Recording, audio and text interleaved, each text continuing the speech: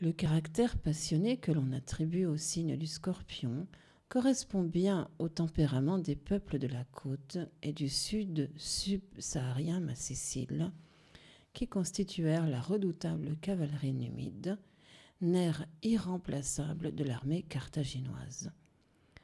Hannibal Barca, le grand et célèbre condottière punique, fut le premier à comprendre mieux que quiconque le rôle stratégique des centres côtiers algériens qu'il s'employa à, valoriser. Parmi celles-ci, Gounougoun Gouraya a joué un important rôle économique à la fois en tant que point de référence vers lequel convergeaient les trafics maritimes entre l'Afrique du Nord, la péninsule ibérique et la péninsule italique, et en tant que centre de production artisanale. Yol Césarée, l'actuelle Cherchel, surgit à environ 30 km à l'est de Gouraya.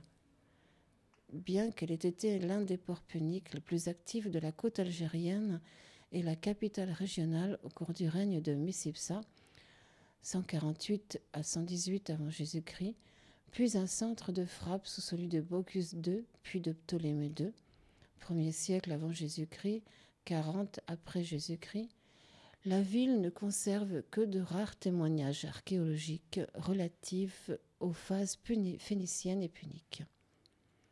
On a cependant retrouvé dans le forum de Sévère et sous les niveaux résidentiels hellénistiques de l'îlot Joinville des pièces qui remontent à une période s'étendant entre le 8e et le 5e siècle avant Jésus-Christ.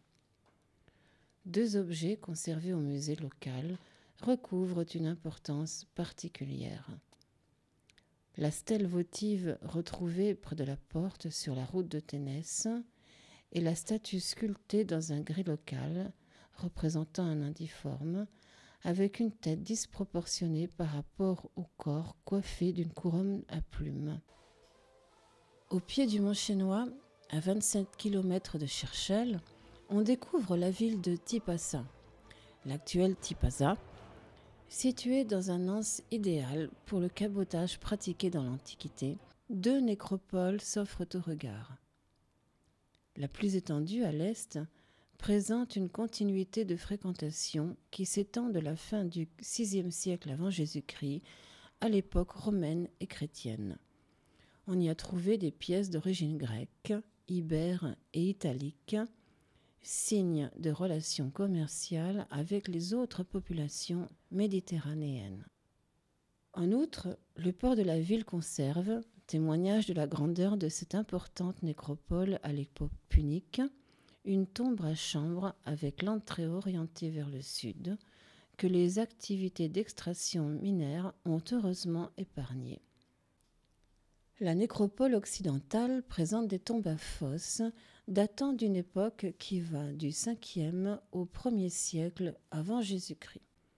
Parmi celles-ci, la tombe munie d'un petit couloir d'accès à la fosse fermé par un bloc rectangulaire présente un grand intérêt.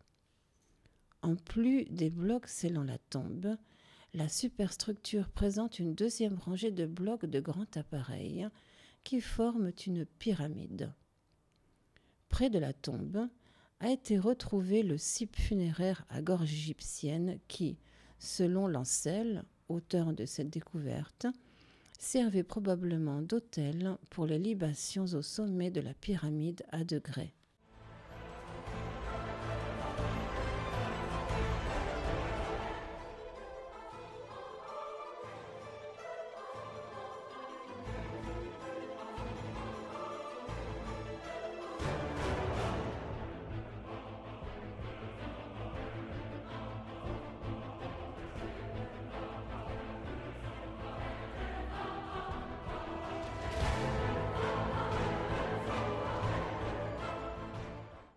Nécropole hébergeait également des sépultures infantiles en amphores dépourvues d'épaulements et au fond brisé pour faciliter l'insertion du corps.